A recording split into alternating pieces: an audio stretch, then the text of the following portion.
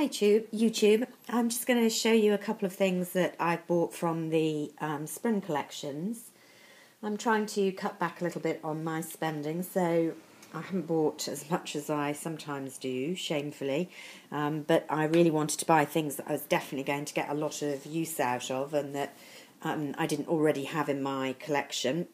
so, as usual, I was very taken by a number of different things from the Chanel collection.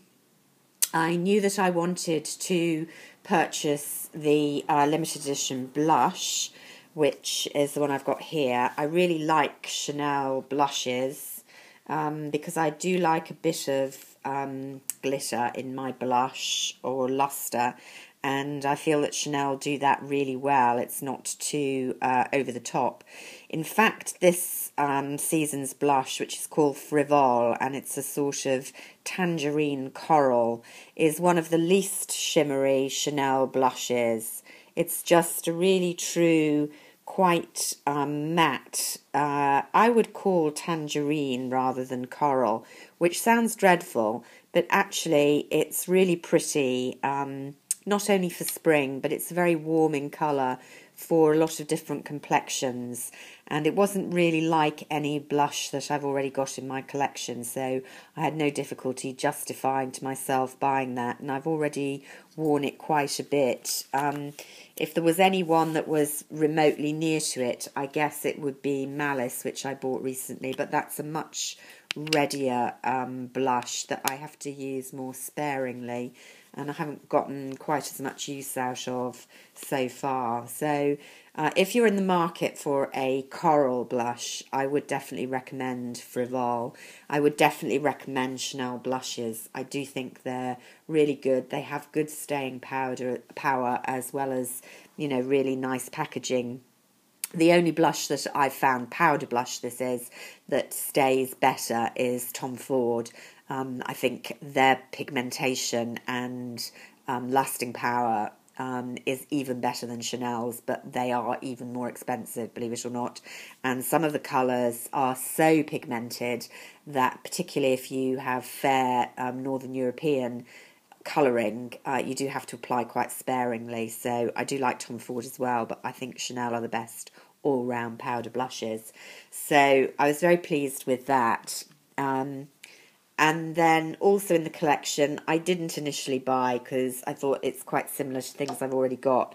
One of the nail polishes, I do love Chanel nail polish, they're my favourites, and I often buy from each collection. It's quite an unusual spring collection this year. They're showing a um, a, a nudie beige or a beigey nude which was just too translucent for me. I have to be very careful with nudes, they make my skin look quite washed out, and I think they're difficult to apply. I didn't feel there was anything particularly special about this formulation.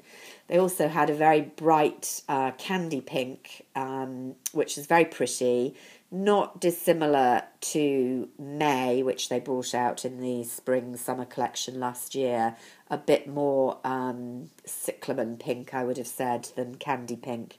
Um, very pretty, but again, I'm not a great pink wearer. I do have a few pink polishes, but I don't turn to pink very often.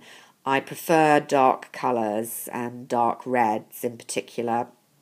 Um, I've told you before, and I'll say it again Rouge Noir by Chanel is my absolute favourite um, nail polish, and I loved very much Malice, which was a version of that in the holiday collection last year, running up to Christmas, but with a bit of um, metallic in it as well, which I absolutely loved. This is called Accessoire, and it's a more kind of ready, um, almost bricky red. Uh, I'm showing it there to try and get the colour. Um, if I show it on my, you know, kind of wheel here, it's showing up darker even than it is. It's this one here, and uh, not that far removed from Rouge Noir, but actually probably nearest um, to Skyfall by OPI, which is a very bricky red. It's looking much darker um, there in the light, but actually on the nails, they're very, very similar. So if you wanted a cheaper version, Skyfall, I think, is, is not the same, but very, very similar. Um, it, it's a really nice colour. I think it's really sophisticated, although it's an unusual colour for spring, but I like it a lot.